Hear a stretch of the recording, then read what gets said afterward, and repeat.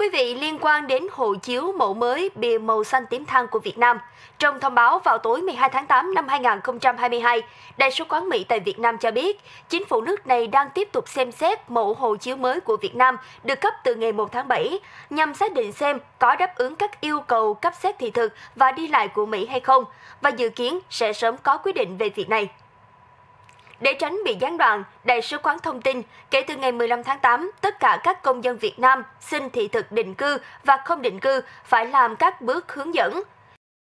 Khi chuẩn bị hồ sơ, công dân điền tờ khai xin thị thực DS160 hoặc DS260, cần đảm bảo điền thông tin về nơi sinh của đương đơn. Đại sứ quán lưu ý không điền quê quán hoặc nơi đăng ký khai sinh, phải điền tên tỉnh, thành và quốc gia nơi đương đơn đã sinh ra. Đối với mẫu hộ chiếu mẫu mới, công dân khi làm một Công dân khi làm hộ chiếu mới, hãy yêu cầu cơ quan chức năng bổ sung thông tin bị chú về nơi sinh để đảm bảo thông tin nơi sinh có trong hộ chiếu mới. Nếu công dân có lịch hẹn được đại sứ quán phỏng vấn, khi đi phỏng vấn phải mang theo giấy khai sinh. Nếu không có bản gốc giấy khai sinh nhưng có hộ chiếu cũ bìa màu xanh lá cây có thông tin nơi sinh thì phải mang theo cùng hộ chiếu mới. Nếu công dân đã có hộ chiếu mẫu mới, Đại sứ quán Mỹ đặc biệt khuyến cáo đương đơn yêu cầu cơ quan chức năng bổ sung thông tin bị chú về nơi sinh trước ngày phỏng vấn. Trước đó, Đức, Cộng hòa Séc và Phần Lan đã thông báo tạm ngừng công nhận hộ chiếu mẫu mới của Việt Nam.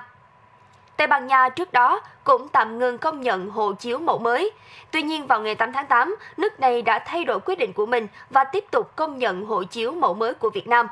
Bên cạnh đó, Pháp và Anh cũng là hai quốc gia tại châu Âu công nhận hộ chiếu mẫu mới.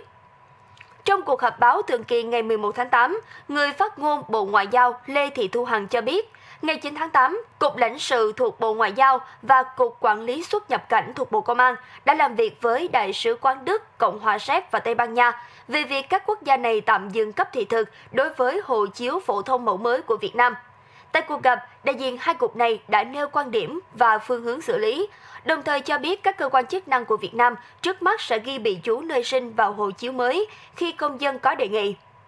Những thông tin mới nhất sẽ được báo Thanh niên liên tục cập nhật tại địa chỉ thanh niên.vn. Quý vị cũng đừng quên bấm like, đăng ký theo dõi và ấn vào nút chuông để không bỏ lỡ những tin tức được chúng tôi cập nhật liên tục trên kênh youtube Báo Thanh niên.